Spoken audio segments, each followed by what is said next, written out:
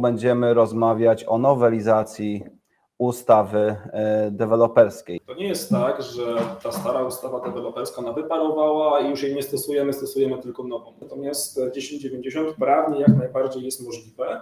Podejrzewam, że w, pierwszym, w pierwszych dwóch latach obowiązywania tej ustawy nowej deweloperskiej będziemy mieli wysyp tak naprawdę deweloperów, którzy będą próbować e, obejść w sposób legalny, tudzież nielegalny tą ustawę. Witamy wszystkich po, można powiedzieć, półtora miesięcznej przerwie wakacyjnej. Dosyć tego dobrego, czas się wziąć e, do pracy. Dzisiaj temat, można powiedzieć, dość e, wymagający i zaawansowany, bo będziemy rozmawiać o nowelizacji ustawy e, deweloperskiej. Jak ona wpływa na, e, na nasze interesy, co zmienia się dla, e, można powiedzieć, wszystkich uczestników rynku. A gościem specjalnym jest Szymon Panek. Witamy Cię, Szymonie. Cześć wszystkim. Mamy przyjemność współpracy z Szymonem, można powiedzieć, już w zasadzie od trzech lat. Trzech lat. Trzech lat. Szymon wspiera nas w procesie e, interpretacji umów e, deweloperskich, umów przedstępnych, wszelakich umów, można powiedzieć, dotyczących e, zakupu mieszkań na rynku pierwotnym. Szymon reprezentuje firmę Pewny Lokal, która właśnie w tym, w tym aspekcie się specjalizuje. I nie tylko, bo jeszcze zajmujemy się rynkiem wtórnym, także, także odbiorami technicznymi mieszkań w całej Polsce. Tak tylko w ramach uzupełnienia chciałem dodać. Jasne. Dobrze, to może e, w zasadzie przejdźmy już e, do konkretów, mianowicie co e, w ramach tego webinaru, jakie zagadnienia będziemy poruszać. Na początku się troszeczkę głębiej jeszcze przedstawimy, powiemy co nieco o nas. Może inaczej. Może najpierw ze dwa, trzy pytania. Pierwsze to, czy znana jest wszystkim e, marka FNP? Jeżeli nie, to poproszę o e, jedyneczkę. Takie logo FNP, które tutaj jest wyświetlone w prezentacji. Że ktoś może się pojawić tutaj przez przypadek, w zasadzie nie do końca wie, e, czym się zajmujemy. Ok, póki co e, nie widzę, także większość jest znana, to dosłownie pokrótce się przedstawimy, ale przede wszystkim też chciałbym zapytać, e, jeżeli mm, jest ktoś może wśród e, dostępnych gości, kto jeszcze nie kupił mieszkania na rynku pierwotnym, to poprosimy o zero. O, super, są takie osoby. Świetnie. Dobrze, to jeśli chodzi o część merytoryczną, no to właśnie poruszymy zmiany, jakie zaszły po 1 e, lipca, jeśli chodzi o nowelizację ustawy deweloperskiej. E, zapytam e, Szymona, jak, zmiana, jak te zmiany wpływają właściwie na konsumentów, jak wpływają też na przedsiębiorców, czy można powiedzieć na nas, fliperów, na osoby, które obracają mieszkaniami na rynku pierwotnym. No i jakie zmiany też są w obliczu działalności deweloperskiej, czyli co zmieniło się u deweloperów. E, czy e, słynna sesja, o którą często ludzie pytają właśnie w ramach nowelizacji, są też między innymi ten webinar, czy sesja będzie możliwa po, e, w dzisiejszej rzeczywistości po 1 lipca, czy będzie można dalej nabywać prawa do nieruchomości i je cedować, E, w myśl nowych zasad? A jeżeli tak, to w jaki sposób? I o tych metodach też sobie dzisiaj e, porozmawiamy. Fajnie, że jest nas tutaj e, sporo osób. Myślę, że ta część merytoryczna, mam nadzieję, rozjaśni wszelkie wątpliwości, ale warto zostać do końca, ponieważ będzie też niespodzianka no i e, fajnie, jakbyście sobie zapisali różne dodatkowe pytania o Szymona. Jak Szymon będzie się wypowiadał, ja też sobie przygotowałem kartkę. Słuchajcie, jak będzie coś w trakcie, a nie będę chciał przerywać Szymonowi, to też o coś e, dopytam. Także będzie też sesja pytań i odpowiedzi to e, pod koniec tego webinaru. Nie krępujcie się pytać, bo to zawsze rozwiewa wątpliwości, które Was tak naprawdę interesują. Nie jesteśmy w stanie poruszyć wszystkiego na krótkim spotkaniu. Zresztą nawet jakbyśmy siedzieli całą noc, to pewnie byśmy wszystkich tematów, które Was interesują konkretnie nie odpowiedzieli, dlatego warto, nie wstydźcie się, nie bójcie się zadawać pytań. Dobrze, dosłownie króciutko o nas zatem. E, prowadzimy markę FNP, czyli flip na pierwotnym, obracamy e, mieszkaniami na tym rynku, można powiedzieć w całej e, Polsce. Obsługujemy zarówno miasta wojewódzkie, jak i mniejsze miejscowości w okolicach między 150 a 50 tysięcy mieszkańców. Tam również analizujemy rynek, pozyskujemy mieszkania z rynku pierwotnego na różnych etapach, można powiedzieć, rozwoju danej inwestycji. Prowadzimy firmę FNP razem z Maciejem. Maciej jeszcze jest, kończy urlop dosłownie, także nie mógł dzisiaj być, ale z nami, można powiedzieć, myślę, że można to podkreślić już w tym momencie, jest też zespół postaci Oliwii i Michała, które można powiedzieć stanowią taką naszą kopię, czyli jeżdżą z nami i pozyskują mieszkania e, z rynku pierwotnego. Jest również e, Karolina, która analizuje wszystkie dane e, z rynku w całej Polsce, jeśli chodzi o inwestycje deweloperskie, które są w trakcie budowy bądź które są w trakcie, które są po pozwoleniu na użytkowanie i są w trakcie sprzedaży. Także cała, można powiedzieć, działka związana z badaniem rynku jest właśnie pod okiem Karoliny. Analizujemy rynek w całej Polsce, ale oprócz tego prowadzimy również e, warsztaty w tym e, zakresie co miesiąc w innym e, większym mieście wojewódzkim. Ok, nie owijając, przechodzimy do pytań, które sobie tutaj przygotowałem. No właśnie, no bo przede wszystkim nowelizacja tej ustawy została wprowadzona po to, żeby jeszcze bardziej zabezpieczyć interesy konsumentów. Więc e, od tego może zacznijmy. W jaki sposób nastąpiły e, zmiany, jeśli chodzi o rynek e, pierwotny i zakup mieszkań dla konsumentów właśnie? Tak, musimy najpierw powiedzieć sobie na pytanie, czy mamy w tym momencie jedną ustawę, czy mamy dwie ustawy. To nie jest tak, że ta stara ustawa deweloperska ona wyparowała i już jej nie stosujemy, stosujemy tylko nową ustawę deweloperską. No niestety tak nie jest. E, mamy tak naprawdę w tym momencie troszkę dualizm prawny, ponieważ jednocześnie będziemy stosować dwie ustawy. Jeżeli będzie e, inwestycja, deweloper podpisał chociaż jedną ustawę, jedną umowę deweloperską przed 1 lipca, to będzie stosował, będzie mógł stosować e, stare przepisy. Będzie mógł stosować stare przepisy. Natomiast jeżeli e, inwestycja zostaje ruszona, umowy deweloperskie pierwsze są podpisane po pierwszym lipcu, to będziemy stosować tą nową ustawę deweloperską.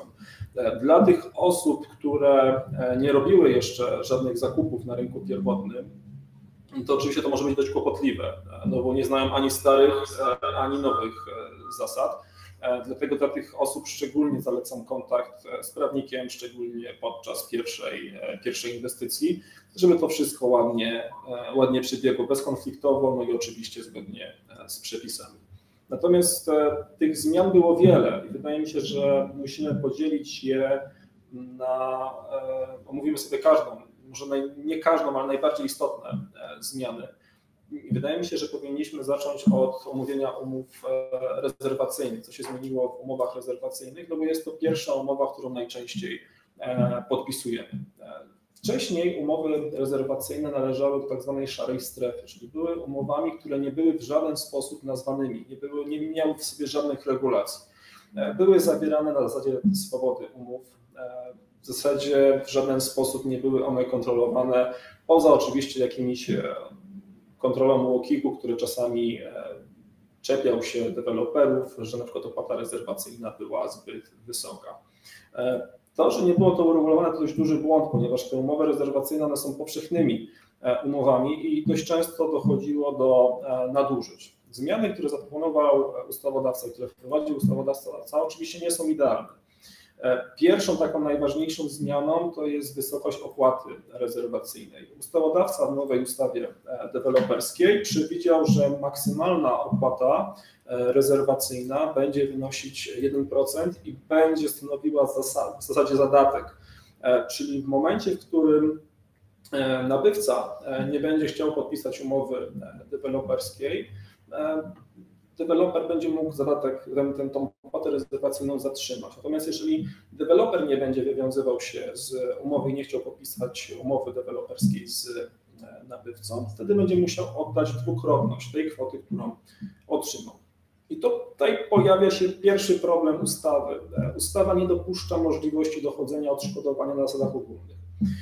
Co to w ogóle oznacza i, i, i, i dlaczego to jest ważne? 1% 1% e, wartości nieruchomości, no niestety no nie, nie jest dużą wartością.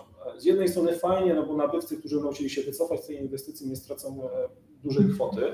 Natomiast w przypadku, gdy deweloper będzie chciał się wycofać, on również nie straci dużej kwoty, a jednocześnie przykład, e, gdy rynek nieruchomości znowu będzie, tak powiem, nagrzany do czerwoności, i będzie sprzedawało się szybko, ceny nieruchomości będą rosły e, w zawrotnym tempie, na przykład okres rezerwacji będzie wynosił nie wiem, dwa miesiące, to ta, te ceny nieruchomości po prostu mogą się w tym czasie zmienić, zarówno na korzyść, jak i na niekorzyść. Natomiast e, zakładamy opcję mniej e, optymistyczną dla nabywcy i zakładamy, że ceny nieruchomości wzrosły na przykład o 10%, więc deweloper w łatwy sposób rozwiązuje tą umowę, tą rezerwacyjną, oddając po prostu więcej o 1%, no a sam zarabia więcej procentowo. No, przepraszam, że Ci tu um, przyrywaj, przyrywaj, bo wiesz, że jak ja się rozgadam, muszę dodać, że no jednak tu dla konsumenta jakiś tam ukłon e, ze strony ustawodawcy jest, jest. ponieważ no, zawsze w przypadku, kiedy kupujemy nieruchomość, załóżmy na, za pół miliona, no to te 5 tysięcy w kieszeni konsumenta zostaje wcześniej. Rzadko kiedy spotykaliśmy się z taką sytuacją, że podpisując umowę rezerwacyjną, deweloper zobowiązuje się do dwukrotnego e, zwrotu tego zadatku. Także no, jest to chociaż jak, jakaś kwota na otarcie e, łez, prawda? Natomiast nas to nie urządza, ale jak to, to o tym będziemy rozmawiać później. Wprowadzając, wprowadzając zmiany jakiekolwiek, to powinniśmy te zmiany wprowadzić jak najbardziej idealne. Nie? To jest prosta sprawa, szybka rzecz, w żaden sposób e, mm, nie pomyślał o tym ustawodawca.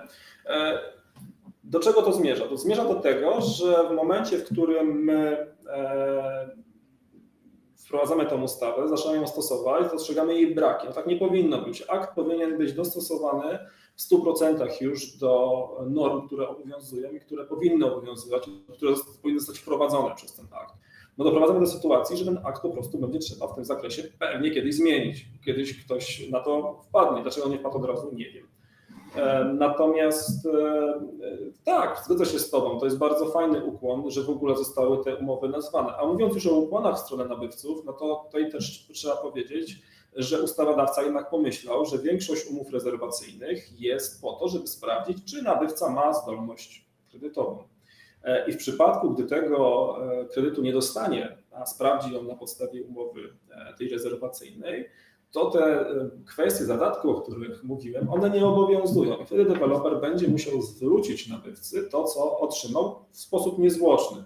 Czyli niezwłoczny, czyli praktycznie od razu powinien mu te, ten 1% zwrócić. I to jest rzeczywisty ukłon. Nie? Natomiast to, że coś nie zostało doprecyzowane w ustawie, no to nie jest fajne, no bo teraz tak naprawdę ja jako prawnik będę wskazywał e, nabywcom informację, że nie mogą dochodzić odszkodowań na zasadach ogólnych i potrzebują dodatkowej klauzuli w umowie, żeby móc to robić. I będą to negocjować z deweloperem. Oczywiście deweloperzy raczej się niechętnie będą na to, e, na to zgadzać. Podejrzewam, że jest kilka takich wyjątków od e, zachowania tego zdatku, jeśli chodzi o konsumentów. Jedną, jeden z nich jest E, brak uzyskania kredytu, ale jest jeszcze kilka. To jest powiedzmy mniej istotna kwestia. Mamy dosłownie niespełna e, godzinę na wyjaśnienie wszystkich rzeczy, a jest ich trochę. Tak, o tych najważniejszych, o tych e. najważniejszych rzeczach z umowy rezerwacyjnej wydaje mi się, że zakończyliśmy tak naprawdę, oprócz może jednego, jeszcze jedno dodam, dobrze? Już, już Patryk na mnie patrzy, bo on mnie zna i wie, że jak ja się rozgadam, to mogę gadać i gadać na jeden temat, a mamy rzeczywiście ograniczony czas. Natomiast bardzo ważną informacją jest to, że deweloper już w umowie rezerwacyjnej będzie musiał nam dostarczyć prospekt informacyjny. Wcześniej tego nie musiał robić. Natomiast tym załącznikiem do prospektu informacyjnego jest wzór umowy deweloperskiej. I to jest, to jest mega rzecz. To jest mega rzecz, bo już na etapie podpisywania umowy rezerwacyjnej e, będziemy mogli przeanalizować umowę deweloperską. Czy, czy ona jest rzeczywiście zgodna z ustawą, czy nie znajdują się w niej klauzule, które mimo, że są zgodne z tą ustawą i z innymi ustawami, nie powodują dla nas jakichś niebezpieczeństw, e, czy też e, możemy ulepszyć w jakikolwiek sposób tą, tą umowę. I to już na etapie umowy rezerwacyjnej, więc to jest naprawdę bardzo dobra E, bardzo dobra informacja. Mamy już całość. Tak, no przez, już całość. często kiedy prowadzona była przedsprzedaż u deweloperów, tej umowy deweloperskiej jeszcze przygotowanej nie było. Tak. tak naprawdę kupowaliśmy znowu kota w worku. Podpisywało się umowę rezerwacyjną i nie wiedzieliśmy do końca, czy deweloper to, co zdeklarował, faktycznie będzie miało swoje odzwierciedlenie w późniejszej e, rzeczywistości. Także tak. to też e, to też. Tylko, tylko dodam, że to naprawdę to najprawdopodobniej przez pierwszy rok jeszcze obowiązywania tej ustawy, czy najbliższy rok, być może półtora roku, będziecie spotykać się raczej z umowami na starych zasadach. E, czyli podpisując umowy rezerwacyjne, no nie powinniście już tak naprawdę mieć te prospekty, natomiast e, od czego zależy stosowanie prawa? E, ludzie stosują prawo wtedy, kiedy nie, nie wiąże się ono z nadmiernymi trudnościami. E, i oczywiście nie jest za bardzo kosztowne. Podejrzewam, że w, pierwszym, w pierwszych dwóch latach obowiązywania tej ustawy nowej deweloperskiej będziemy mieli wysyp tak naprawdę deweloperów, którzy będą próbować e, obejść w sposób legalny, tudzież nielegalny tą ustawę, mm, ustawę deweloperską. E, I no podejrzewam, że będzie dużo sytuacji, że nabywcy, nieświadomi nabywcy, bo tutaj mamy spotkanie z osobami, które się tym interesują, więc tutaj zakładam, że wśród Was takich osób nie będzie. Natomiast e, podejrzewam, że e, przypadki, gdzie będzie ona ta ustawa deweloperska, no nie będą rzadkimi.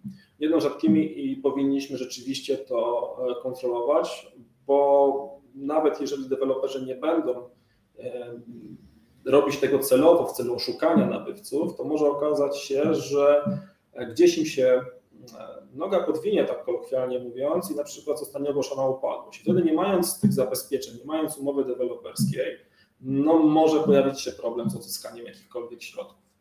Tutaj można to tak e, podsumować, jeśli chodzi o ten okres, można powiedzieć, że to jest okres taki przejściowy, dwuletni, tak. tak? bo jest jeszcze kilka inwestycji, spora część w zasadzie, która jest zbudowana w oparciu o starą zasadę, tak to ujmijmy, ujmijmy a, a, a nowa obowiązująca od 1 lipca, gdzieś tam deweloperzy no, bardzo się przed tym bronili, próbowali jeszcze rozpocząć wszystkie możliwe inwestycje w oparciu o starą ustawę. Ale dobrze, wracajmy do tych zmian, bo one będą prędzej czy później będziemy się z tym spotykać, więc należy się z tym zmierzyć. Co dalej? Co dalej? Bo są takie trzy literki, można być DFG, mhm. słynne, które krążyły wokół tej nowelizacji. Co to dokładnie oznacza? Czy to oznacza, że będą nieruchomości droższe przynajmniej 1% No, tak, tak w skrócie. E, Czym to jest? Już, już, już, już tłumaczę, już tłumaczę.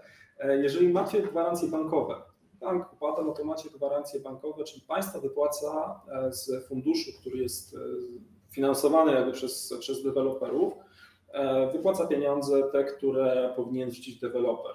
On, ten, ten fundusz deweloperski, on powstał na potrzeby E, jakby upadłości deweloperów. W ogóle w uzasadnieniu do sporządzenia tej ustawy mamy e, napisane, że właśnie to jest, ta ustawa jest z myślą o tym, e, że deweloperzy, którzy upadają, powodują dużo problemów i środki nabywców nie są należycie zabezpieczone. Upadłości deweloperów są tak naprawdę rzadkością. Jeżeli spojrzymy w oficjalne dane, no to rzeczywiście tych upadłości deweloperów będzie dużo, ale to jest troszeczkę sztucznie zawyżone, ponieważ w większości przypadków to będzie te upadłości będą dotyczyć firm budowlanych, które de facto deweloperką się nie zajmowały, ale które w PKD po prostu miały wpisane tą, tą. Czyli trochę nad wyraz. Trochę nad wyraz, tak. No, oczywiście, no bo samo prawo upadłościowe wiesz, już nas e, chroniło w sposób e, należyty, a to, że podejrzewam kilku syndyków nie umiało stosować tych przepisów i dopuściło się jakichś deliktów, no to, to, to nie jest, nie, nie, nie, nie, nie ma potrzeby wtedy wyciągać działa do strzelania do komara, prawda? No, a to jest troszeczkę takie rozwiązanie. Same, sama, umowa, sama ustawa jest ok, tylko troszeczkę moim zdaniem za szybko została wprowadzona. Została wprowadzona bez szerszych konsultacji z ludźmi, którzy zajmują się rynkiem. Nie tylko, nie chodzi mi o prawników, nie chodzi mi o, o deweloperów, ale chodzi mi między innymi właśnie o, o, o fliperów, chodzi mi między innymi o osoby takie, które po prostu raz na jakiś czas inwestują. To też ich, to też ich dotyczy i e, wydaje mi się, że z takimi osobami w żaden sposób ustawa nie była e, konsultowana. Wróćmy, wróćmy do tych konsumentów, e, czyli co, mamy tak zwaną ściepę. Ale wróćmy do DFG. Tak właśnie, do, do, do, do okay. konsumentów i DFG, czyli deweloperski tak zwany fundusz gwarancyjny. Mamy tą ściepę, czyli to jest te 1%, na który składają się deweloperzy. Można powiedzieć niby tylko 1%, ale biorąc pod uwagę wszystkie inwestycje i wszystkie e, jakby wartości, to to jest dosyć dużo. Jak, jak mamy na uwadze to, że jest nie, bardzo niewielka e, liczba firmy deweloperskie, które upadły w ostatnich, można powiedzieć, 5-10 latach, prawda? To, to, to jest, to jest e, e, spore, e, spore dołożenie do, do tego bezpieczeństwa, można powiedzieć, ale co? No tak naprawdę to spowoduje, że ceny znowu podejrzewam, że wzrosną. Niby bezpieczeństwo jest, ale też trzeba będzie za to zapłacić. Kto by się spodziewał, że ceny wzrosną, jeżeli będzie deweloper musiał zapłacić więcej za za samą całą budowę. No, tych, te ceny, jak jesteśmy już w ogóle przy wzroście cen, e, no to może powiemy sobie, że ceny wzrosną nie tylko z powodu DFG, no ale także z powodu e, obowiązków banków, e, bo ustawa, nie wiem, czy teraz będziemy mówić o tym, czy, czy, czy w późniejszym etapie. Możesz, możesz wspomnieć, jak już zacząłeś, to już kontynuuję, jeśli chodzi o obowiązki banku, bo to też będzie dotyczyło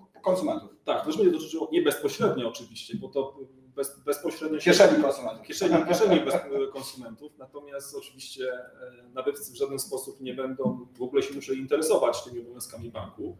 Natomiast pierwszym takim e, obowiązkiem to jest rozszerzenie e, rozszerzenie, rozszerzenie obowiązków, które bank ma, jeżeli chodzi o kontrolę dewelopera. Wcześniej, w przypadku starej ustawy deweloperskiej, bank miał obowiązek po prostu zweryfikować, czy dany etap został wybudowany.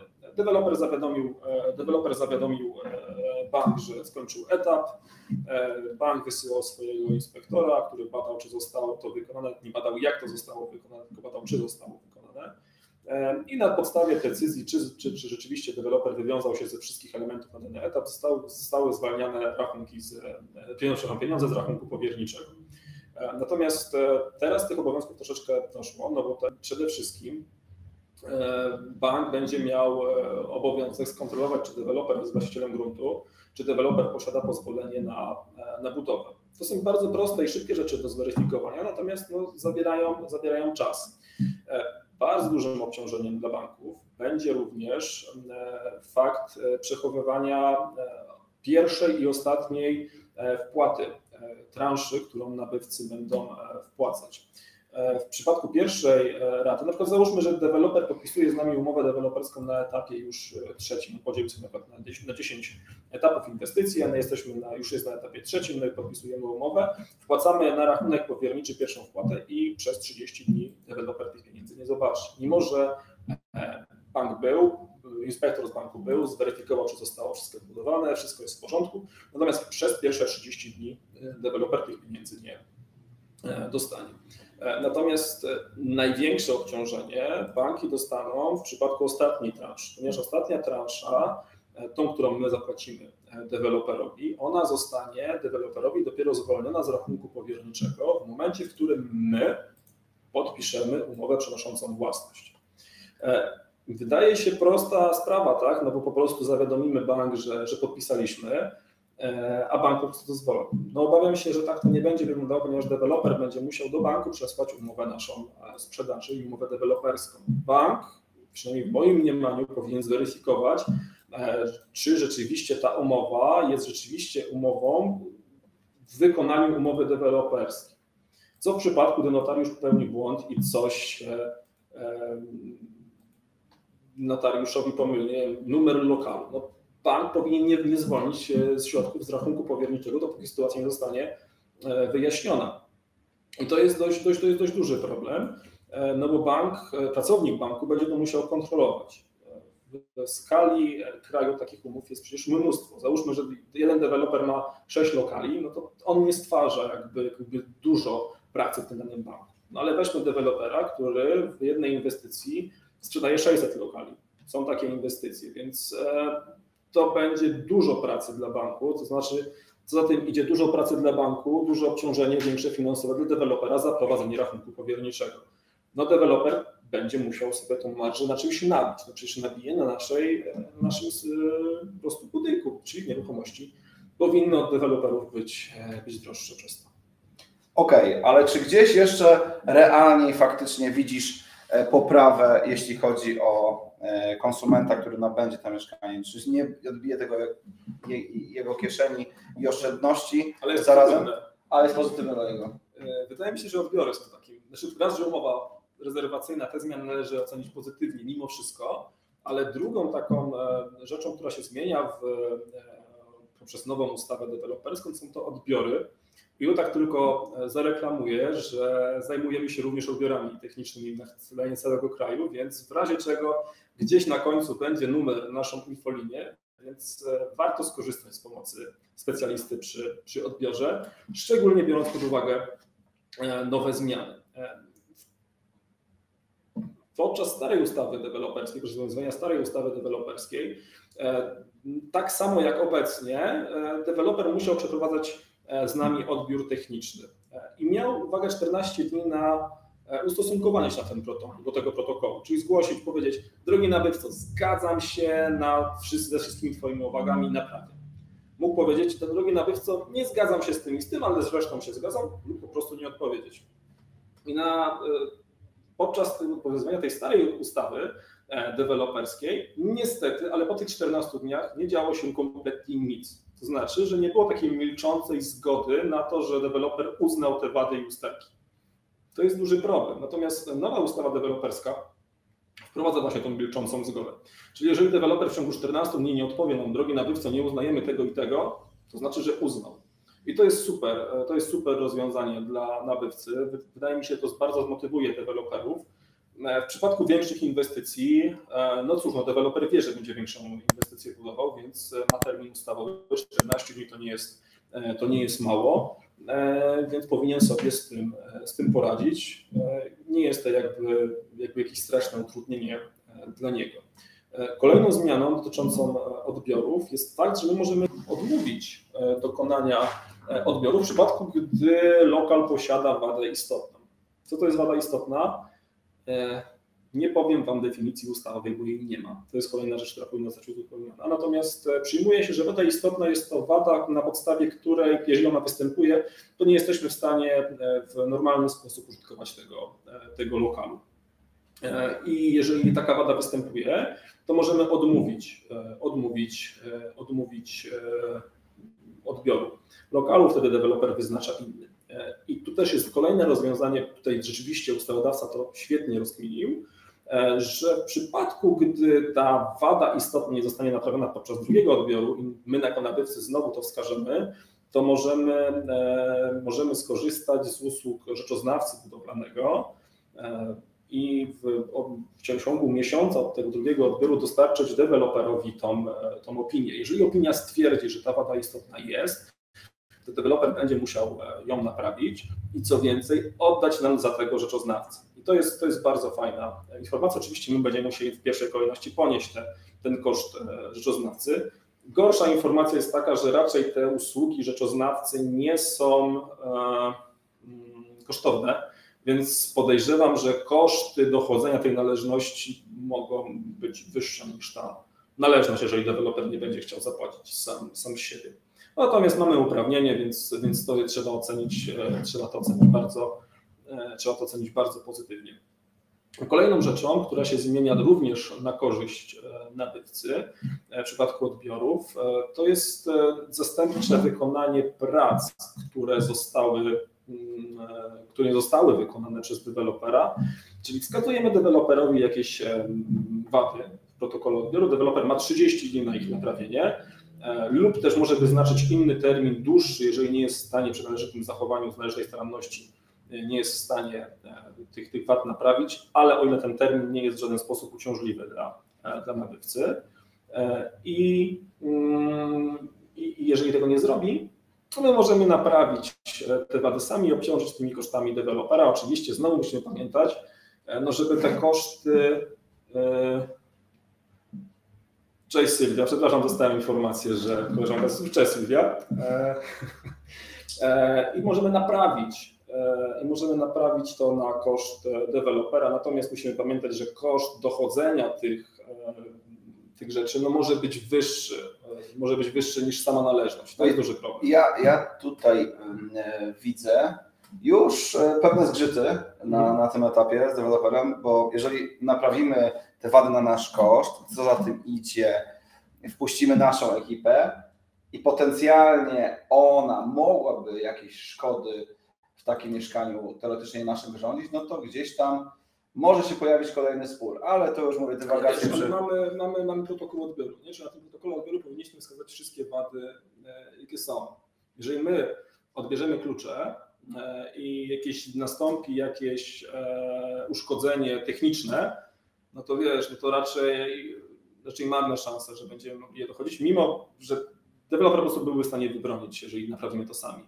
E, okay. Jeżeli mamy też duże uszkodzenie fizyczne, no to raczej powinniśmy je, je zobaczyć. I tutaj przepraszam za znowu dość śmiałą reklamę, dlatego warto brać inżynierów e, na odbiór, bo wtedy no, mamy większą pewność, że takie rzeczy na pewno zostaną wychwycone. Okej. Okay. Jeszcze jedna rzecz, która gdzieś w oparciu o poprzednią ustawę deweloperską była ciekawa. Ciekawy taki dokument magiczny, można powiedzieć, czyli prospekt informacyjny. Czy tam też jest coś jeszcze dodane? Ten prospekt już jest e, dosyć ciekawy sposób sformułowany, dużo można z niego wyczytać, ale czy coś jeszcze tam się e, poprawi? Coś, co konsument może zauważyć, a wcześniej potencjalnie mógł tego nie widzieć. Mhm. Znaczy ja może wyjaśnię najpierw, dlaczego Patryk użył stwierdzenia, że jest to magiczny E, magiczny dokument. Prospekt informacyjny, szczególnie tych osób, które nigdy nie inwestowały na rynku pierwotnym. Prospekt informacyjny to jest umowa deweloperska w pigułce. Właśnie dla osoby, która nie posiada jakby doświadczenia czy wiedzy prawnej, e, przeczyta, zobaczy ten dokument, prospekt informacyjny i jest w stanie ocenić, e, czy jest wszystko ok, czy może coś wzbudza jej wątpliwości. Jest to oczywiście duży dokument, ale on jest bardzo przyjazny w formie tabaki jest e, opisany, co e, w zasadzie wszystko jest opisane w bardzo prosty sposób, bardzo przystępnym językiem, w przeciwieństwie często do umowy e, deweloperskiej. Natomiast co się zmieniło? Bardzo fajna rzecz tą zmianę również trzeba ocenić bardzo na plus dla nabywców, ponieważ została dodana informacja o tym, jakie rzeczy będą budowane wokół naszej nieruchomości i nie chodzi tylko o te niepokojące o te niepokojące, czy jakieś spalarnie śmieci, jakieś cmentarze, jakieś wysypiska śmieci, jakieś oczyszczalnie ścieków, ale również e, po prostu, czy to będzie zabudowa mieszkaniowa, czy to będzie, e, czy tam będą jakieś budynki e, usługowe, po prostu plan zagospodarowania przestrzennego tam zostanie opisany, a jeżeli go nie ma, to inne dokumenty, na podstawie których mogą powstać tam jakieś inne okay. inwestycje. Okej, okay. musimy brnąć dalej, bo oprócz konsumentów jest jeszcze kilka innych uczestników rynku, o których chcielibyśmy wiedzieć. E, zatem przejdźmy może do następnego slajdu e, prezentacji. I zanim kolejne e, pytanie. Co się zadzieje w takim razie, czy już właściwie się zadziało i zaczyna dziać, jak w odniesieniu do rzeczywistości deweloperów? Czyli tutaj, e, tutaj rozumiem, że no, troszeczkę ustawodawca jednak e, namieszał e, no, namieszał, tej grupie. Czy, czy, czy, czy namieszał? Na pewno, na pewno zobligował do większej ilości obowiązków. To jest, to jest dość, dość istotne. Troszeczkę omówiliśmy to poprzez DFG i, i tutaj też procedury bankowe w zasadzie w całości omówiliśmy, więc nie będziemy już procedur bankowych, bankowych ruszać. Natomiast e, no, deweloperzy no, będą się bronić. Będą się bronić e, jak tylko będą mogli podczas tych odbiorów. E, podejrzewam, że będą wykorzystywać wszelkie, wszelkie możliwe furtki. Nie wiem, czy czy coś możemy dodać tak naprawdę oprócz tych rzeczy, które już. Które no właśnie, jakie, jakie, jakie e, koszty jeszcze tak naprawdę e, może generować ta nowelizacja, ta nowa ustawa deweloperska mhm. w kontekście e, deweloperów? Czy już wszystkie wymieniliśmy, bo tutaj Jest czego sporo. Wiesz, Same odbiory, procedury też. e, Wydaje mi się, że musimy powiedzieć o umowach rezerwacyjnych. Nie? No bo wcześniej tak naprawdę funkcjonowało przeświadczenie niezgodne z rzeczywistością, e, że można było budować na umowach rezerwacyjnych, czyli w ogóle ominąć starą ustawę deweloperską, co stanowiło pewien delikt. Natomiast rzeczywiście tak, to, tak się przyjęło i tak to e, funkcjonowało, więc e, na pewno deweloperom będzie trudniej w jakikolwiek sposób ominąć tą ustawę deweloperską. Wydaje mi się, czasami czytając e, treść ustawy deweloperskiej, e, po prostu mam wrażenie, że bardzo często jest to w podobny sposób, ale w bardziej dobitny opisane te, te przepisy, tak żeby po prostu to, e, to do wszystkich dotarło. E, Czy jakieś jeszcze koszty e, dewelopera? Myślę, że już te, na- te największe ale te największe, te największe wymieniliśmy. ale wiesz co, tak, ale tutaj powiedziałem, że nam ten, ten miejscowy plan zagospodarowania przestrzennego, opisanie go, on, on jest fajny dla nabywcy, ale rzeczywiście on może mieć skutek no, większej ilości pracy dla dewelopera. No, wiesz, deweloper zleca jednak sporządzenie prospektu, czy to, to, czy to nam tak naprawdę e, prawnikom, czy to jakimś innym e, architektom, czy, czy, czy, czy, czy komuś, kto się po prostu na tym po prostu zna, umie w jego firmie. Ja, ja polecam jednak, e, jednak skorzystać z usług prawników.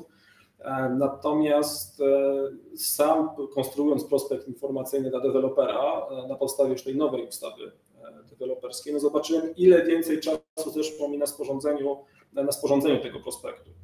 Być może e, polegało to na tym, że ustawę deweloperską, tą starą stosujemy już, już przeszło 11 lat, a tą nową stosowaliśmy od niecałego miesiąca wtedy. E, Więc być może było to e, po prostu brak doświadczenia i po prostu takiej już takiej powtarzalności, bo to się zawsze, zawsze się już troszeczkę powtarza. E, Być może to było skutkiem większej ilości czasu, większej, większej ilości czasu spędzonym na tym, natomiast e, no na pewno te usługi prawne, te usługi około, e, około inwestycyjne, no również deweloperowi wzrosną, no bo skoro my poświęcamy więcej czasu, to inni również będą poświęcać. Krótko rzecz ujmując, cały proces robi się dość mocno dla deweloperów uciążliwy, nie mówiąc już upierdliwy wręcz. Czy wiesz, przepisy ogólnie są zawsze upierdliwe. Sama ustawa deweloperska, ona nie jest dla deweloperów. On- Ona wprost, wiecie, no my mówimy ustawa deweloperska, ustawa deweloperska, ona jest o ochronie praw nabywcy. Tak naprawdę, taką ma nazwę. Więc e, Rzec, chciałoby się rzec, że deweloper chętnie sprzedaje te mieszkania, bo to to robi przecież, ale jak przychodzi konsument i już e, ten deweloper widzi tą osobę, ile obowiązków związanych jest z nowelizacją ustawy, tak naprawdę, jak trzeba tą osobę przez cały proces sprzedaży przeprowadzić, no to faktycznie te koszty, e, te koszty e, rosną. Natomiast przejdźmy do meritum, do, naj, do najważniejszych rzeczy, bo mamy do, do 20.40, a jednak chcielibyśmy się sporo dowiedzieć jeszcze, jak to się zmieni, jak ta obecna rzeczywistość zmienia e, nasze zakupy, nasze, nasz proces nabycia mieszkania z rynku pierwotnego. Mhm.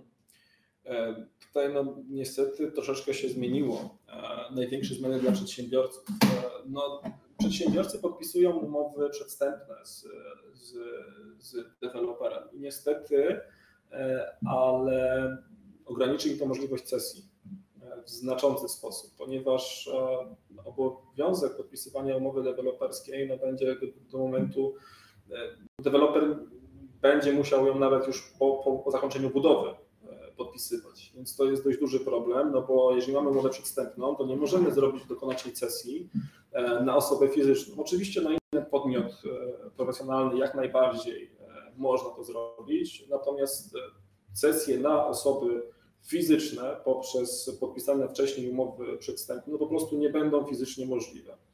E, Tu miałem takie osobne pytania przygotowane, co z sesją osobno chciałem mhm. tutaj też to rozgraniczyć, to może za chwilę jeszcze do sesji e, wrócimy, przejdziemy, ale też no, widziałem w międzyczasie, pozwolę sobie sięgnąć e, chociażby do pierwszego pytania, które padło, gdzieś tam przeleciało, odnośnie już przeniesienia własności tak naprawdę. W momencie od sprzedaży mieszkania, bo jeżeli dobrze rozumiem, Izabeli chodziło o to, że już nabywamy to mieszkanie. Jak jest od sprzedaży, no to rozumiem, że był akt przeniesienia własności. Czy tutaj, bo też sporo pytań padało, pa- pamiętam w międzyczasie, e, przed nowelizacją, czy będziemy musieli zakładać jako y, przedsiębiorcy zbywający mieszkania rachunki powiernicze i normalnie przechodzić przez e, cały proces, e, który jest opisany w ustawie deweloperskiej? Na szczęście ustawodawca nie jest aż tak szalony, żeby wprowadzać aż takie e, obostrzenia, żeby fliperzy, czyli osoby, które prowadzą, tylko nie mówimy tutaj o osobach fizycznych, tylko mówimy właśnie o przedsiębiorcach, E, żeby e, osoby fizyczne, żeby osoby przedsiębiorcy, którzy, na których zostanie przeniesiona własność e, lokalu czy domu, musiały otwierać rachunek powierniczy. No całe szczęście już nie. No jeżeli proces zostanie deweloperski, ten budowlany zakończony, zostanie przeniesiona własność, to nie będą musiały zakładać, nie będą musiały te osoby na DFG płacić, nie będą musiały płacić na zakładać rachunków powierniczych, ale mamy artykuł czwarty, E, mamy artykuł czwarty nowej ustawy e, deweloperskiej, e, który mówi, że ustawą również są objęte również są objęte osoby inne niż deweloper w przypadku podpisywania umowy sprzedaży. Natomiast nie obowiązuje to całą, obowiązuje to całej ustawy, tylko obowiązują to przepisy dotyczące umowy rezerwacyjnej, E, dotyczące e, odbioru. E, I o ile nie zrobimy ważnego, fajnego myku, bo tam w tym artykule czwartym jest najpierw ustęp pierwszy, najpierw jest punkt pierwszy, punkt drugi, tak dziwnie jest to skonstruowane. Natomiast potem mamy odniesienie do obydwu tych punktów, który mówi nam, że w momencie, w którym mamy, że to mamy zastosowanie co do tych dwóch punktów, w przypadku, gdy następuje pierwsze, po raz pierwszy przeniesienie na nabywcę, a nabywca jest zdefiniowany w ustawie deweloperskiej jako osoba fizyczna, tam jest troszeczkę rozwinięcia, ale nie będziemy tego bardziej, e, bardziej e, rozwijać. E, oraz w przypadku, gdy przedmiot umowy powstał w wyniku przedsięwzięcia lub zdania inwestycyjnego deweloperskiego. I Przedmiot umowy, jeżeli będziemy sprzedawać w takiej formie, jakiej otrzymaliśmy od dewelopera, to tak, będziemy musieli stosować e, przepisy dotyczące odbioru i będziemy musieli przepisy dotyczące części umowy rezerwacyjnej, czyli na przykład tego jednego, e, tego jednego procenta e, stosować. Natomiast, natomiast jeżeli przedmiot umowy będzie inny, a wystarczy zmienić przedmiot umowy poprzez zmienienie jego struktury, czyli dodanie, zmienienie jego funkcji. Na przykład Przepraszam, mam informację, że bardzo słabo słychać. Okay, Czy faktycznie to, to jest. E, bo teraz zauważyłem komentarz, bo się wsłuchałem tak. U Izabeli jest ok, dobra. Zakładam, że może u Kamila, ale coś jeszcze coś. Dajcie proszę znać, czy, czy, czy mnie dobrze słyszycie. Nie, dobra, jest potwierdzenie, że jest ok. Przepraszam, ale muszę. Kamil, sobie... musisz nas pogłośnić albo zmienić głośniki. Tak to, jest. Nie, to nie nasza wina, przepraszamy. Okej, okay, dobra, idźmy dalej. Przepraszam, yy, skończyliśmy. Prawda? Tak, natomiast wystarczy zmienić ten przedmiot umowy, żeby on nie był wynikiem e, przedsięwzięcia deweloperskiego. I w takim wypadku już nie będziemy podlegać zupełnie pod tą e, ustawę e, nową deweloperską. Wydaje mi się, że ta furtka ona powstała przez przypadek tak naprawdę. No, poprzez dodanie jakichś elementów w tym mieszkaniu stworzymy, stworzymy zupełnie inny przedmiot umowy. To już nie będzie ten przedmiot umowy, który powstał w wyniku, w wyniku przedsięwzięcia czy zadania inwestycyjnego. E, czyli jak zrobimy remont, już jest ok. Piękne pytanie. Tak, dokładnie. Wtedy jest ok, właśnie o tym, e, o tym, o tym mówię. E, natomiast ja nie wiem, czy ta furtka powstała przez przypadek, czy to zostanie zmieniane w przyszłości. Nie jestem też pewny, jak to, to, jak to będą to interpretować organy czy notariusze. No, no, przepraszam, że Cię no, w mojej ocenie, jeżeli ustawa deweloperska w ogóle jako taka powstała po to, żeby chronić interesy nabywców na etapie zakupu czegoś, czego nie widać, co tak naprawdę jest e, obietnicą mhm. E, jakiejś inwestycji, jakiegoś budynku, zbioru budynków, mm, no to faktycznie jest to wysoce ryzykowne. Natomiast jeżeli rozmawiamy o tym, że zbywamy już powstałą nieruchomość, na którą została przeniesiona własność, jeśli zostało to w pierwszym momencie zweryfikowane, mało tego, że jest księga wieczysta założona, będąca rękojmią tak naprawdę wiary publicznej, czy zostało to jeszcze kolejny raz zweryfikowane, no to tutaj już tak naprawdę jest kwestia samego wykończenia mieszkania. Tak, dokładnie, dokładnie. To już nie jest, to już nie jest zabezpieczenie. No wiesz, ale ta ustawa nowa deweloperska, ta stara ustawa deweloperska właśnie powstała na podstawie tego, żeby zabezpieczyć ludzi, którzy kupują e, dziurę w ziemi. Nie? Natomiast ta nowa ustawa deweloperska ona jest rozszerzona, to już nie, nie zabezpiecza już tylko przed zakupem dziur, dziury, dziury w ziemi. Nie? Natomiast jeżeli deweloper zostanie z jakimś, e, jakimś lokalem, to w dalszym ciągu będziesz musiał otrzymać od niego prospekt informacyjny na przykład. Nie? Więc e, No tak, ale jeszcze no mamy tutaj ten ostatni czek notariusza, prawda? E, Tutaj jest pozwolenie na użytkowanie, ok. Być może to pozwolenie na użytkowanie w jakikolwiek sposób e, zostało błędnie wykonane. Gdzieś na etapie między pozwoleniem na użytkowanie a przeniesieniem własności, no też te interesy konsumentów, szczególnie jeśli chodzi o wpłaty, miały być zabezpieczone. Nie wiem dlaczego, szczerze mówiąc, ale gdzieś tutaj ustawodawca poczuł jakieś ryzyko, że pomimo, że budynek jest zbudowany, to wpłacamy już, do tej pory wpłacaliśmy e, w oparciu o, ustawą, o starą ustawę na rachunek techniczny dewelopera, czyli deweloper widział, widział już całe środki, teraz ich nie będzie również widział, znowu będą musiały być przez bank przetransferowane. Natomiast Przepraszam, ja mogę poruszyć te dwa pytania, które Jarosław zadał. A co przed przeniesieniem własności, a po, e, a po remoncie? I co e, wtedy będzie potrzebne, e, czy wtedy będzie stosowanie artykułu czwartego i jaka zmiana przedmiotu ma zaraz się do sesji jeszcze do sesji wrócimy, za chwileczkę. Jarosław, jeżeli będziesz przed przeniesieniem własności to robił, e, to tak naprawdę nie pozostaje Ci nic innego jak ponowne rozwiązanie umowy ze względem nabywcy. E, Nie będziesz w stanie... Poczekaj, tutaj chodzi o sesję, właśnie wrócimy. wrócimy. Tak, dobrze. To jeszcze poruszymy, bo jeśli chodzi o ten. Aha, mówisz o remoncie, tak? W tym momencie. No, w zasadzie skończyłem. No tak. Dobrze, bo już jeszcze kilka rzeczy jest do poruszenia. E, przejdźmy może co, co z tą sesją właśnie. Więc tak, Tak naprawdę, przepraszam, myśl u y, obecnej y, jeszcze y, y, ustawy, gdzieś tam w projektach, które się toczyły wcześniej, y, po, przedsiębiorca, mówimy tutaj o działalności gospodarczej, bo to trzeba rozgraniczyć, była działalność gospodarcza i spółka. To działalność gospodarcza była brana pod uwagę jako osoba fizyczna, nie jako podmiot, y, tak, gdzieś tam podmiot prawny, tylko osoba fizyczna, więc podlegała ustawie deweloperskiej. Teraz to się e, zmieniło. Tak? chodzi się o jednoosobową działalność. Chodzi o jednoosobową bo- bo działalność nie, nie. Tak. E, No, w pewnym stopniu, bo jeżeli będziesz nabywał to jako jednoosobowa działalność gospodarcza, ale w, jakby na potrzeby swojej działalności lub w związku z prowadzoną swoją działalnością, no to nie, to nie będziesz, Dokładnie. to nie będziesz podlegał. Ale jeżeli to będzie, będziesz prowadził zupełnie inną działalność, a nabędziesz sobie posługaną działalność gospodarczą, to w dalszym Oczywiście, ciągu wiadomo, na potrzeby własne będziesz e, konsumentem tak naprawdę, Tak. będziesz e, chroniony. e, No nową i w zasadach. Zresztą tak naprawdę ta ochrona osób, które właśnie prowadzą taką działalność, ona występuje w wielu innych czynnikach, w wielu innych ustawach. Nie będziemy tego poruszać, no bo nie mamy już na to czasu. Natomiast temat jest dość, temat jest dość ciekawy i szeroki, no bo w zasadzie jednoosobowe działalności e, zrównuje się z konsumentami. E, Czy tak powinno być? Nie jestem do końca przekonany, ale też nie jest czas ani miejsce na to, żeby to poruszyć szerzej. Okej, czyli wcześniej jednoosobowa działalność gospodarcza podpisywała umowę deweloperską, więc mogła cedować prawa z umowy deweloperskiej na osobę fizyczną. Dlaczego? Dlatego, że e, osoba fizyczna również podpisywała umowę deweloperską.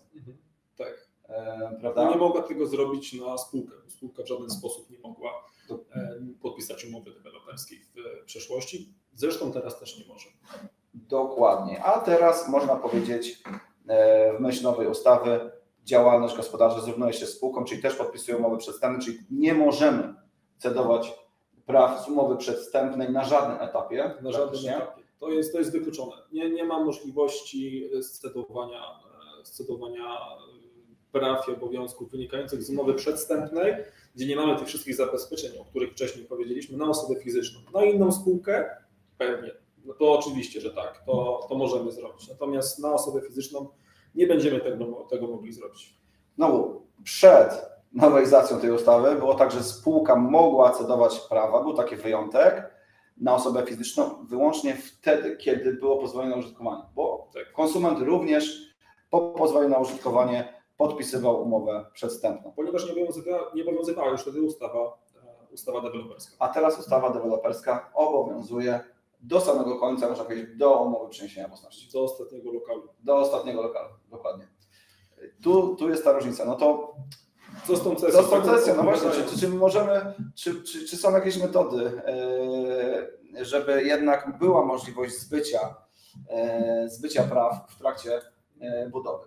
Oczywiście, że tak. No oczywiście to zawsze każda umowa flipera z deweloperem no, wymaga współpracy między nimi. To nie, nie odbywa się nigdy zero-jedynkowo. Więc mimo, że podpisze spółka umowę przedstępną, w dalszym ciągu można w niej dać klauzule, które pozwolą na rozwiązanie tej umowy przedstępnej i zawiązanie umowy deweloperskiej z osobą fizyczną, którą wskaże flipper. E, to jest e, dość już częste rozwiązanie, w zasadzie, w zasadzie powszechne rozwiązanie. Przepraszam, muszę Ci wejść słowo. Cieszę się, że to mówisz, ponieważ jakieś 4 czy 5 lat temu z Maciejem siedzieliśmy, główkowaliśmy nad e, tym procesem, nad możliwością zbycia praw poprzez spółkę, bo już wtedy opracowaliśmy nieruchomościami e, na, na spółkach. No i właśnie opracowaliśmy tę metodę razem zresztą e, z Twoim zespołem. E, tak. No, cieszy, cieszy mnie to, że... Kształtujemy rynek, kształtujemy razem rynek i to jest fajne, bo to rzeczywiście widać. Rzeczywiście widać, że, że zarówno flip na pierwotnym, jak i pewny lokal w jakimś stopniu, i to wcale nie małym stopniu, rynek deweloperski kształtują. I to jest i to raczej na lepsze niż na gorsze. Mm, dobrze, to fajnie się złożyło, bo przy okazji tego, że opracowaliśmy e, takie zapisy, które pozwalały zbyć e, prawa spółce, no będziemy mieli teraz możliwość e, rozwiązywać umowy również jako działalności gospodarczej, dalej na rynku prosperować i sprzedawać mieszkania przed przeniesieniem własności tak, żeby odpowiednio e, efektywnie e, ustawiać inwestycje i zarządzać naszym e, kapitałem. Dobrze. Ja tylko jedną rzecz powiem. Jasne. Jeszcze tylko jedną rzecz powiem. Ważne, że w przypadku osób fizycznych tak naprawdę, jeżeli chodzi o cesję, dużo się nie zmienia. Po prostu, po prostu robimy cesję. Nie ma mowy w ogóle o obowiązywaniu, jakby stosowaniu tych całych wszystkich ustaw, bo my nie, na podstawie cesji nie sprzedajemy żadnego lokalu. My sprzedajemy prawo do tego lokalu, co jest, co jest znaczącą, znaczącą różnicą, a dość często ludzie o tym zapominają. No dobrze, jak już to poruszyłeś, to jeszcze jedna rzecz. No bo bywało tak, że niektóre osoby po prostu sprzedawały prawa do nieruchomości na etapie budowy pierwszy raz, faktycznie jako konsumenci. Robili to często, mając też korzystny harmonogram płatności. Czy teraz w obliczu nowej ustawy będzie też można tak korzystnie negocjować harmonogram płatności z deweloperem? Czy, Czy będzie to możliwe 1090? Tak jest. I tu pewnie wszystkich zaskoczę, tak jest możliwość. Bo też takie pytania padały, oczywiście, że jest. Jest możliwość, e, natomiast... E, Krążyły znowu pytania, legendy, stąd legendy, legendy, że nie mity, można. Legendy, mity, że nie można. E, najpierw powiedzmy sobie o zmianie, którą ustawa nowa deweloperska wprowadza. Wcześniej harmonogram e, inwestycji, e, czyli tej budowy i harmonogram e, płatności, to były dwa osobne harmonogramy. To jak się mówiliście z deweloperem, tak mieliście. Mogło to być płatne w dwóch latach 10-90, mogło być płatne w dwóch latach 90-10. Jak się dogadaliście z deweloperem, tak mieliście. Natomiast oczywiście zwalnianie rachunku, z rachunku otwartego powierniczego następowało dopiero po zrealizowaniu każdego z etapów. Obecnie e, nowa ustawa deweloperska wprowadza jakby połączenie tego harmonogramu inwestycji z harmonogramem płatności. E, oznacza to, że deweloper dopiero po zakończeniu jakiegoś danego etapu wysyła zawiadomienie do nabywcy i mówi: Drogi nabywco, skończyłem etap, proszę przelać tyle i tyle. Natomiast e, deweloper nie ma takiego obowiązku. Wszystkie, nie może powiedzieć, że wypłacili wcześniej nabywcy przed zakończeniem etapu. Natomiast może deweloper zrzec się swojego prawa i powiedzieć, że e, on e, no, nie będzie egzekwował żadnych odsetek w przypadku net wiadomienia i nie będzie mógł odstąpić od umowy w przypadku braku płatności, nawet jeżeli bank na przykład nie wyrazi zgody mu na klauzulę, która określi, że płatność następuje znacznie, znacznie, znacznie później niż po zakończeniu e, etapu. Czy deweloperzy będą chcieli takie harmonogramy wprowadzać? Nie wiem, no to jest pytanie już do deweloperów. Zobaczymy, jak się odnajdą w nowej, e, w nowej rzeczywistości. Natomiast 1090 prawnie jak najbardziej jest możliwe, o ile oczywiście deweloper nie będzie wymagał tych, e, tych płatności przed e, zakończeniem danego, danego etapu. No i mu trzeba pamiętać w dalszym ciągu tej ostatniej, ostatnim, ostatnim, ostatnim, ostatniej płatności, że ten etap, za ten etap deweloper dopiero otrzyma środki po przeniesieniu własności. Te środki do dewelopera po prostu będą, e, będą, e, będą zamrożone. Podsumowując, czy tak naprawdę nowelizacja ustawy, czyli wszystkie nowe zapisy zrujnują działalność fliperską? Czy dalej będziemy mogli obracać nieruchomościami? Myślę, że już można swoje wnioski wydedukować na tym etapie i wydaje się, że wręcz przeciwnie. Jest duże pole do popisu, bo w tym momencie ta cała procedura, która jest niewątpliwie upierdliwa, schodzi z rąk deweloperowi. Jest dużo łatwiej deweloperowi będzie się dogadać z taką osobą, która obraca nieruchomościami. Robi to rutynowo w ramach e, działalności gospodarczej czy też, czy też e, spółki.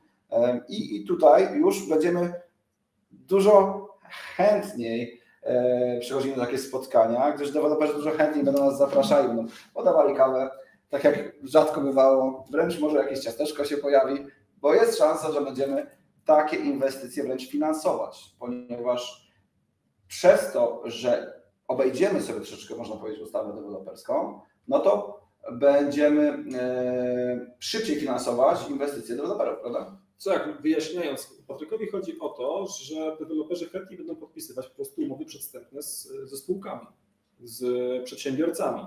To jest logiczne, bo od nich to jest zdjęcie naprawdę dość e, dużego e, ciężaru, bo nie muszą stosować ustawy deweloperskiej, a być może właśnie pojawiają się tutaj troszeczkę nowe pola do współpracy między deweloperem a przedsiębiorcą, już niekoniecznie fliperem, bo może może ten flipping rzeczywiście jednak Patryk troszeczkę zostanie e, utrudniony, szczególnie właśnie, właśnie przedsiębiorcom. E, natomiast to jest pole do popisu na nowych e, horyzontach tak naprawdę między deweloperem a, a, a osobami, które inwestują w rynek nieruchomości. No bo być może dojdzie do sytuacji, w której nabywcy E, przedsiębiorcy będą czekać na to przeniesienie własności, dopiero po przeniesieniu własności będą na siebie, będą sprzedawać to, e, to, to dalej, co będzie również opłacalne dla obu stron. To, to bardzo, bo deweloper dzięki temu będzie mógł ograniczyć swoje koszta, a więc zaproponować lepszą cenę do takiemu, takiemu przedsiębiorcowi, nawet jeżeli on będzie zawierał jedną umowę to, to, to, i tak, e, to i tak będzie, był, będzie w stanie zaproponować lepszą cenę niż, e, niż e, dla osoby fizycznej, gdzie ten cały proces umowy deweloperskiej, ustawy deweloperskiej będzie musiał zostać przeprowadzony. Więc tu jest naprawdę duże pole do popisu nowej współpracy i o ile wcześniej w ustawie deweloperskiej często bywało, że deweloper że Flipper był po prostu konkurencją dla, dla dewelopera, pewnie na którychś etapach e, sprzedaży dość często. Tak teraz wydaje się, że będą, e, będą grać do jednej bramki okay. zawsze. Okej. Okay. E, no to w takim razie mamy nadzieję, że wyczerpaliśmy cały, cały aspekt związany z nowelizacją i Wasze gdzieś tam wątpliwości zostały E, rozwiane. Jeżeli były pytania, śmiało można zapisać. Sobie jeszcze tutaj e, za chwilę poruszymy wszystkie ewentualne dodatkowe pytania, postaramy się na nie odpowiedzieć. Nie ma więc zbyt wiele czasu, ale jeszcze e, niespodzianka. Ze względu na to, że prowadzimy również szkolenia w zakresie nieruchomości, wracamy znowu do gry po półtora miesięcznych wakacjach. Pierwsze takie wydarzenie będzie miało miejsce w Poznaniu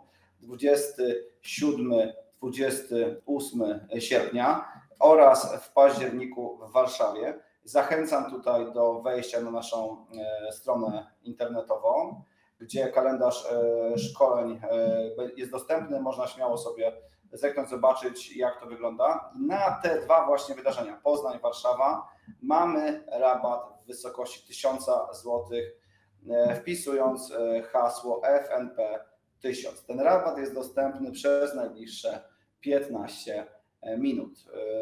Także zachęcam do wzięcia udziału w takim szkoleniu. Przeszkoliliśmy już można powiedzieć 800, ponad 800 osób.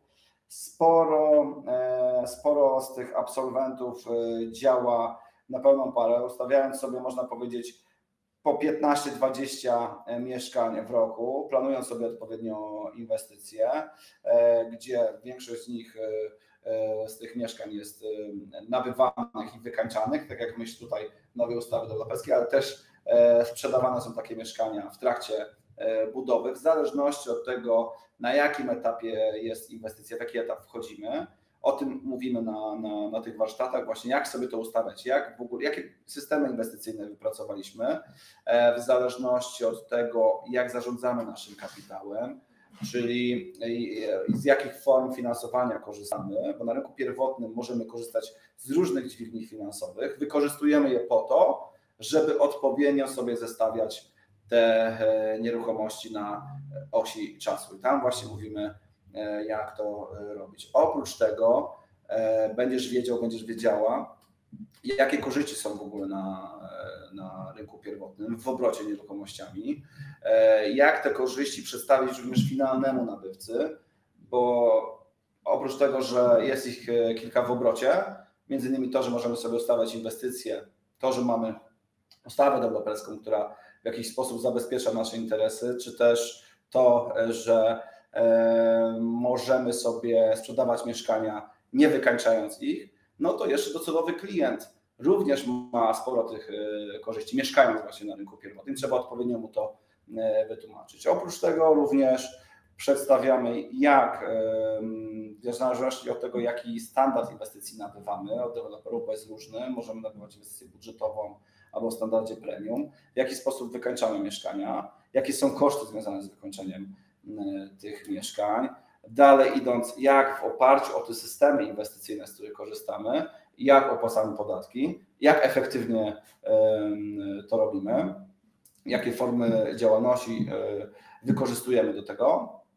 Oprócz tego też e, jest pośrednik, można powiedzieć, z ponad 10-letnim doświadczeniem, który mówi, jak w oparciu o te wypracowane systemy inwestowania kreuje ofertę sprzedażową, jak następnie rozmawia e, z klientami, jak zbija ich obiekcje, jeżeli się pojawiają, no i jak zamyka sprzedaż, bo to jest bardzo istotne.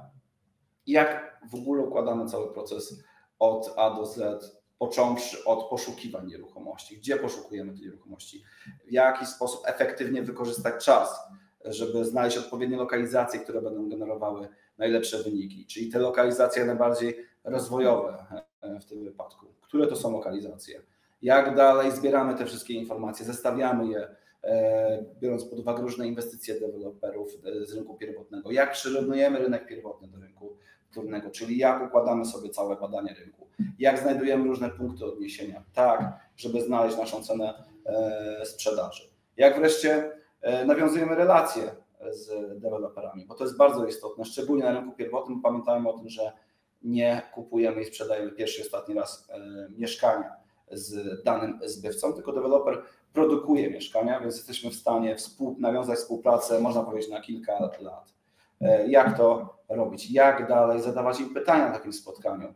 E, jakie istotne informacje pozyskać, żeby wykorzystać je dalej w procesie negocjacyjny. No bo tutaj również mamy do, do czynienia z profesjonalistą, który nie pierwszy ostatni raz sprzedaje mieszkanie, doskonale wie jak to robić, więc musimy obejść tego specjalistę w dosyć niestandardowy e, sposób i w, e, troszeczkę inaczej rozpocząć proces negocjacyjny. No i wreszcie w ostatnim module też prezentujemy okazje inwestycyjne, które nabywamy w danym mieście, tak żeby potwierdzić to, co mówimy w teorii, że ma swoje odzwierciedlenie w praktyce. Przedstawiamy, pokazujemy, które obecnie, w obecnej sytuacji, jaka panuje na rynku, które inwestycje, które mieszkania e, są bardziej bezpieczne i będą generowały najlepsze stopy zwrotu. Bo widzimy, że są w tej chwili e, czasy takie, inne są wakacje, też e, słyszymy, że sprzedaż idzie trochę wolniej, ale no są, są mieszkania, które, które dalej bardzo dobrze sobie radzą, niezależnie od okresu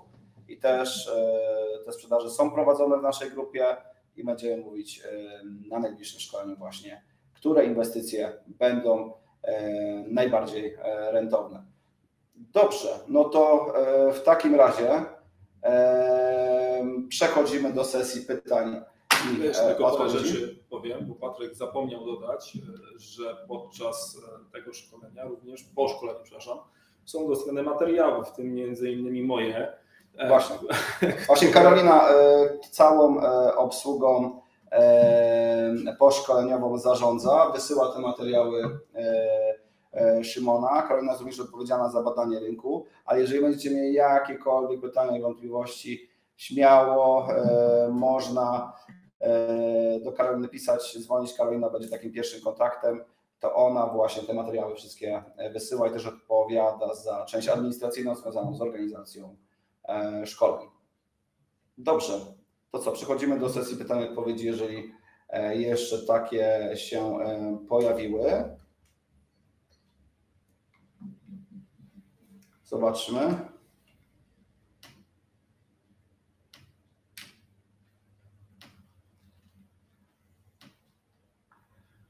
Co z liperami, którzy kupują mieszkanie lub dom z własnych środków, e, kupują i remontują, czy ich dotyczą jakieś e, zmiany?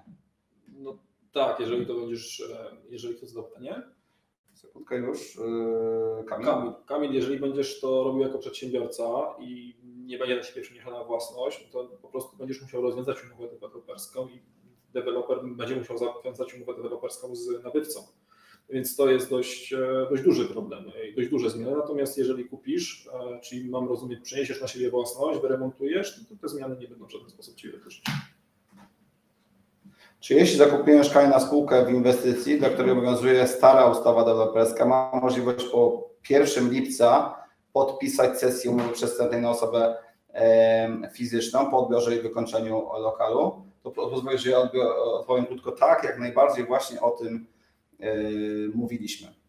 Bo tu jest taki troszeczkę okres przejściowy, to co poruszał e, Szymon. Dopiero pierwsza wykazana sprzedaż w nowej inwestycji, która e, będzie reklamowana, że tak powiem, po 1 lipca i sprzedawana, dopiero wtedy te nowe przepisy będą dotyczyły tej inwestycji. Wszystkie inwestycje, których sprzedaż rozpoczęła się przed 1 lipca, czyli pierwsza umowa e, deweloperska została przed 1 lipca podpisana, to będą jeszcze stare zasady. W większości przypadków będziecie spotykać się tak naprawdę ze starymi zasadami. E, rzadko je tak naprawdę w przypadku nowych inwestycji. Być może traficie na nową ustawę deweloperską. E, natomiast większość umów, które spotkacie przez najbliższy rok, będą, e, będą to umowy na podstawie starych przepisów. I najprawdopodobniej tak naprawdę wiecie, to zawsze jest nowa ustawa, która zmienia bardzo dużo e, i jest niestety mm, dość mocno interpretacyjna, gdzie możliwości interpretacyjne są dość duże, na pewno wytworzą się jakieś praktyki. Być może o tych praktykach w tym momencie nie powiedzieliśmy, Natomiast rzeczywiście, jeżeli będziemy przechodzić już w 100% na, na, na tą nową ustawę deweloperską, to po prostu musi, będziemy musieli spotkać się, mam nadzieję, w podobnym, a nawet większym gronie jeszcze raz e, i to jeszcze raz wszystko sobie podsumować. Być może część rzeczy e, zostanie zweryfikowane przez po prostu praktykę, która e, pokaże, że inaczej będzie interpretowana dana klauzula, dany artykuł w, w, w ustawie, inaczej dana klauzula będzie interpretowana w umowie deweloperskiej. Jak się ma spółka do umowy rezerwacyjnej? Daniel pyta. Mm, no Daniel, jeżeli masz umowę rezerwacyjną, to mam rozumieć, że chcesz to podpisać jako spółka, tak? No to jako spółka nie, nie będziesz podpisywał umowy rezerwacyjnej, tylko będziesz podpisywał umowę przedstępną. Więc tą umowę przedstępnej powinieneś sobie zagwarantować wszystkie rzeczy. Nie powinniśmy używać tak naprawdę nazwanie tej umowy, umowy rezerwacyjnej, zastrzeżenie jej tylko dla e, ustawy, dla, dla nieruchomości jest już kłopotliwe. Tak naprawdę to jest umowa nazwana, więc nie powinniśmy stosować umowy rezerwacyjnej, przynajmniej nazywać ją umową rezerwacyjną e, w przypadku, gdy nie stosujemy ustawy e, deweloperskiej. Więc podejrzewam, że po prostu nie będziesz podpisywał umowy rezerwacyjnej. W Twoim mniemaniu nazywając umową rezerwacyjną, to będziesz podpisywał umowę przedstępną. Nie wiem do końca, nie rozumiem do końca Twojego pytania, przepraszam. Czy e, rozwiązanie umowy ze wskazaniem nowego kupującego wpisujemy do umowy deweloperskiej, czy osobno? Możesz podpisać osobno, możesz podpisać e, w umowie. Ja tylko nie deweloperskiej, tylko w tym wypadku przedstępnej. Przedstępnej. Z punktu widzenia prawnego nie ma to żadnego znaczenia. Tak? Nawet nie musisz mieć tego wpisanego w, w umowie. E, w ogóle na, albo osobnym jakimś dokumencie. No możesz mieć to ustalone po prostu z deweloperem. E, natomiast e, czy to będzie skutkowało tym, że rzeczywiście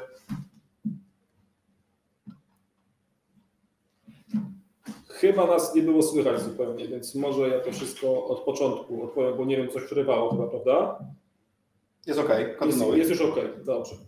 E, więc e, możesz mieć to wpisane, nie musisz mieć tego wpisanego, możesz mieć to wpisane na osobnym dokumencie, Twoja wola. Jeżeli chcesz być zabezpieczona w 100%, to powinnaś to podpisać, mieć to, to, to, prawo rozwiązania albo w umowie, albo w osobnym dokumencie. Nie ma to znaczenia z punktu widzenia prawnego, ale ja osobiście jestem przeciwnikiem tworzenia zbędnej papierologii, dlatego wszystko wpisywałbym w umowę. Natomiast jeżeli nie masz tego w umowie, no to tragedia się nie dzieje E, o ile deweloper oczywiście wyraża na to zgodę w późniejszym etapie.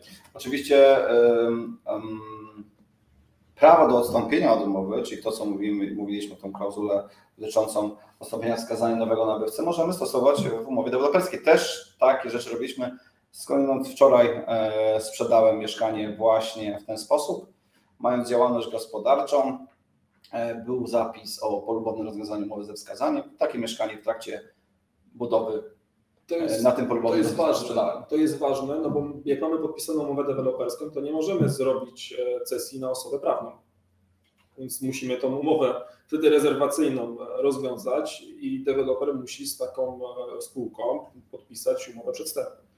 Jest jeszcze inna metoda, która będzie obowiązywała podczas nowych zasad, ale o tym już E, nie będę mówił e, w tej chwili. E, w innym momencie, w innym czasie właśnie sobie to potwierdzamy. Będziemy też omawiali tę metodę podczas najbliższych dalszych szkoleń.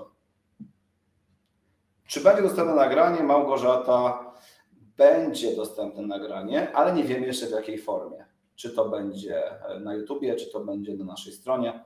Zobaczymy, przegadamy jeszcze. Ale na pewno będzie. Dlaczego flipping będzie utrudniony? E, no bo jak będziesz kupował na spółkę, to po prostu nie będziesz mógł zrobić sesji na osobę fizyczną no, w, na żadnym etapie. Także no, będzie utrudniony, będzie uniemożliwiony wręcz. Znaczy, sesja to jest w cudzysłowie, można powiedzieć, tak? To nazwaliśmy mieszkania na sesję. Natomiast e, czy będziemy e, sprzedawali mieszkania tak jak do tej pory to robiliśmy, cedując prawo do nieruchomości, czy będziemy rozwiązywali umowę i nowy nabywca będzie podpisywał nową umowę deweloperską, to jest tak naprawdę dwie różne metody. E, ważne jest to, żebyśmy mogli po prostu zbyć prawa, zbyć e, taką nieruchomość i e, swoje zyskać poprzez niewielki wkład, który tak naprawdę stosujemy i rezerwujemy nieruchomość na 10% wkładzie, móc zarabiać w trakcie budowy. To jest akurat bardzo ciekawy system, który najczęściej stosowałem przez ostatnie dwa lata i z którego jestem mega zadowolony, nie tylko ja zresztą, a ale też e, inni uczestnicy e, warsztatów. I dalej będzie on możliwy.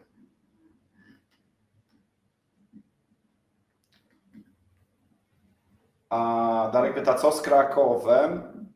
Kraków na ten moment wykluczyliśmy, ponieważ będzie jeszcze szkolenie dla zaawansowanych, które musimy odbyć. No mieliśmy gdzie już e, szkolenie dla zaawansowanych wprowadzić, także Kraków na razie odroczyliśmy.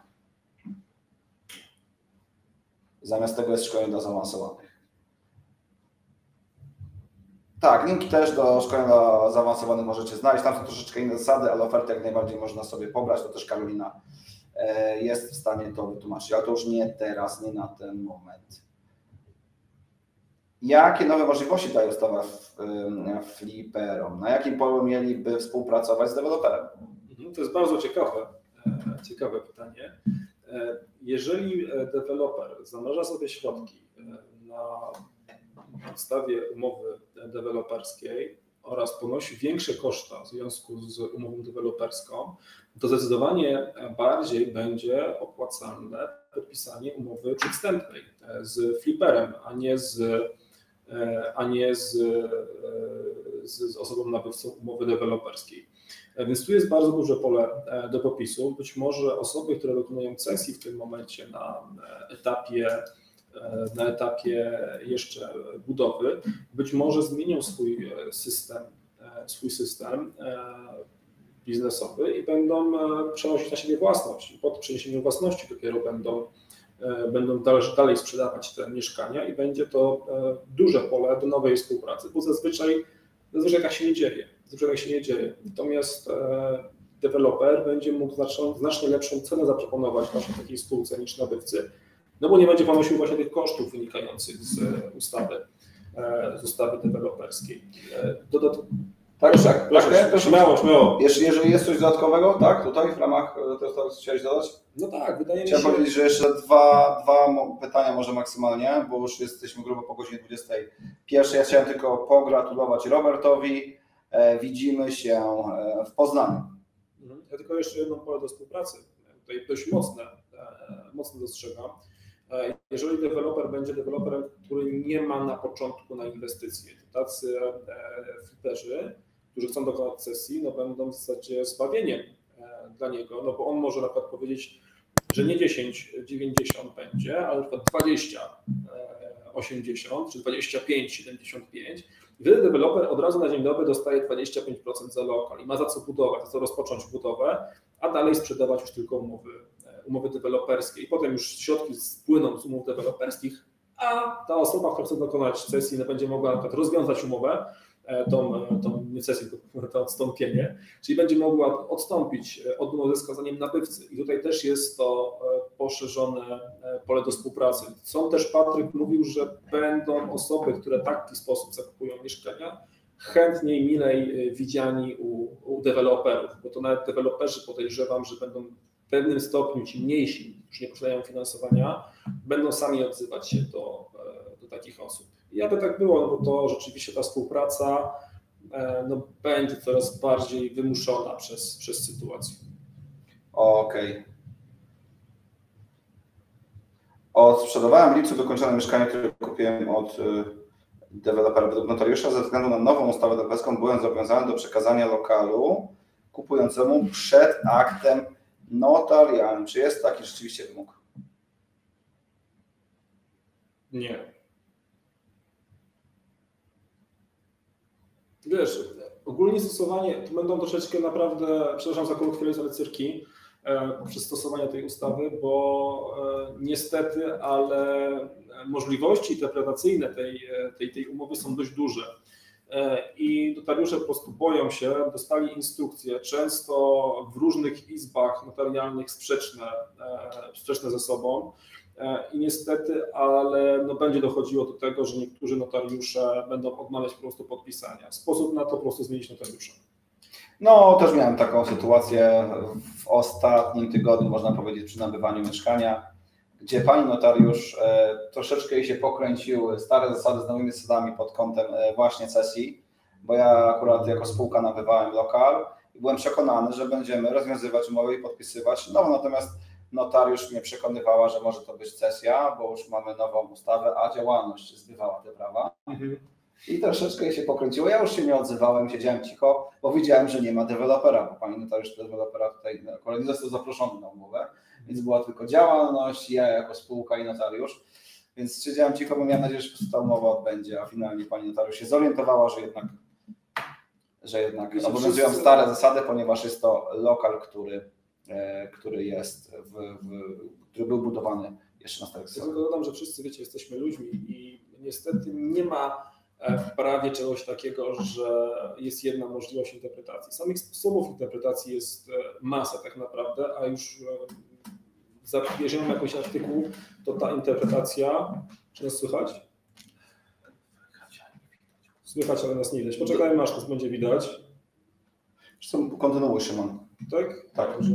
Więc e, no, na początku, przez pierwszy rok to jest będzie okres przejściowy. Naprawdę, będziemy spotykać się z różnymi interpretacjami e, ustawy, z różnymi problemami, które normalnie nie powinny powstać. E, natomiast po prostu musimy wypracować jakieś dobre praktyki. Trudno się mówi o ustawie, która jest bardzo znaczącą ustawą, wprowadza bardzo dużą ilość zmian, natomiast która jeszcze nie jest stosowana. E, To jest, to jest dość duży, to jest dość duży problem. Zresztą banki dostrzegły ten, ten problem i tak naprawdę bardzo trudno jest założyć, e, przynajmniej w lipcu bardzo trudno było założyć e, rachunek powierniczy na zasadach nowej ustawy deweloperskiej, bo banki muszą też te procedury swoje wypracować. Co tutaj chyba Jarosław, kolejne pytanie. Od którego momentu procesu spółka sprzedająca mieszkanie będzie musiała przygotować własny prospekt informacyjny? No chyba Jarek dołączył troszeczkę później, i, no, bo tutaj też już to tłumaczyliśmy. No dobrze, no mamy już godzinę 21.18, to jeżeli mogę, słuchajcie, jeżeli macie jakiekolwiek, jakiekolwiek pytania, kontaktujcie się e, z, czy to z chłopakami, czy bezpośrednio z, poprzez infolinię pewnego lokalu. Jeżeli wpiszecie na Google pewny lokal, to na pewno my wyskoczymy. E, Z chęcią odpowiem na Wasze wszystkie pytania, po prostu mówimy się jakieś konsultacje. Jeżeli macie e, umowy do analizy, również polecam skontaktować się z prawnikami, możecie ze mną. E, Dodatkowo, jeżeli będziecie odbierać w najbliższym czasie jakiekolwiek mieszkanie, e, no to również warto skorzystać z usług e, specjalisty, inżynierów. Mamy inżynierów w całej, w całej, w całej Polsce, także wystarczy się z nami skontaktować. Okej, dziękuję bardzo Szymon. My również zachęcamy do kontaktu poprzez naszą stronę internetową. Odbiorcą będzie właśnie Karolina. Ona też doskonale zna wszystkie procesy, a jeżeli będą jakiekolwiek dodatkowe pytania związane ze, e, z najbliższymi szkoleniami, śmiało też można e, z Karoliną e, porozmawiać. Także dziękujemy bardzo. Dzięki, do zobaczenia. Mam nadzieję, że wyczerpaliśmy temat. Jeżeli nie, no to widzimy się w kolejnych, na kolejnych webinarach, w kolejnych edycjach. Pozdrawiamy Was, trzymajcie się, cześć. Cześć.